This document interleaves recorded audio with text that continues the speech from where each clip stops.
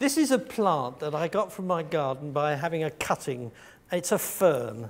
If I take a leaf off of fern, you can see that it's got the same pattern all the way up. And if I take off one of these side branches, the side branch looks just like the original fern.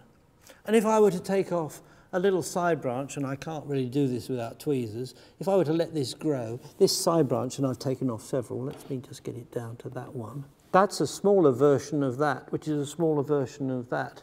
And if this were to grow out, eventually it would look like this. So this is an example of something which looks the same on different scales of length. You start off small, you replicate it on another branch, and then you replicate it and you've got a, a branch of a, a fern.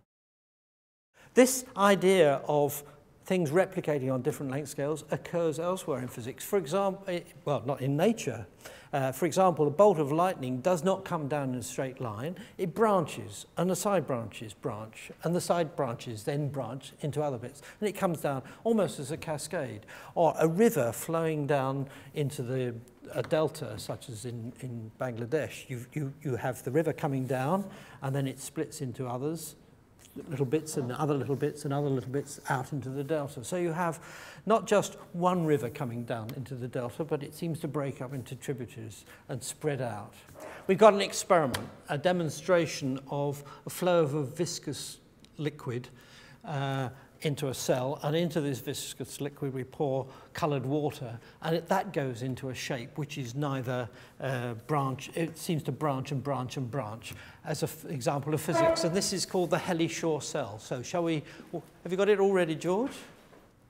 But I find the physics of this fascinating because here you have viscous liquid, and it, it's behaving not the way you'd expect.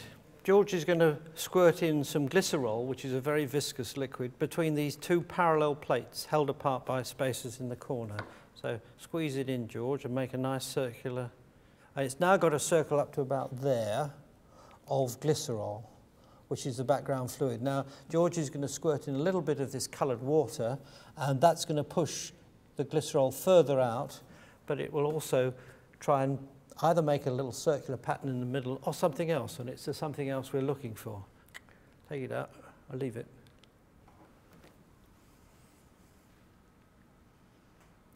All of a sudden it's branched, rather like the fern, it's gone into little patterns, little, little, I don't know what to call them, they're like fronds, and then they break into little two bits at the end. This bit that's growing at the end is probably more diffusion-like, but this looks like a, a petals or leaves of a, a plant.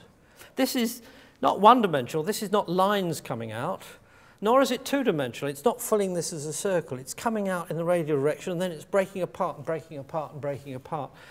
Now it's diffusing out, but before it did all that, it was neither one-dimensional nor two-dimensional. It wasn't a filled circle, nor was it little spikes coming out. It had some other quality, rather like the fern of not filling the two-dimensional space completely, but leaving lots of gaps in between. And whenever that happens, when something is neither one-dimensional or two-dimensional, you have to imagine that it's a different sort of object, something which has a dimension between one and two. That is, it's neither an area nor a line, but some other structure in between.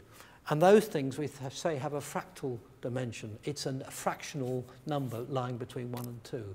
Well, not fractional, but some number like 1.58359, whatever. And that characterizes what this object looks like. This is called the fractal dimension, and people study fractals in physics as objects in their own right, trying to work out what the fractal dimension of a, a granular gas is or other such systems. And this is a different branch of physics from the one that is normally met. There's something called dust bunnies in America. If you go under the bed and your kid has not cleaned the lino, there are little bits of dust making a sort of three-dimensional structure with huge gaps in between. And these gaps in between allow air to flow through it. And it is not one-dimensional. Well, there's the sort of lines, but it doesn't actually occupy two dimensions, but it fills the volume. But somehow it fills the volume, leaving huge amounts of space. There is a, a material called aerogel or Vycor, And aerogel fills a space just like dust bunnies. And when you put superfluid helium through that, it changes all the properties of helium because it imposes a different sort of geometric structure on the superfluid helium and it gives new properties to it, as discovered by Moses Chan.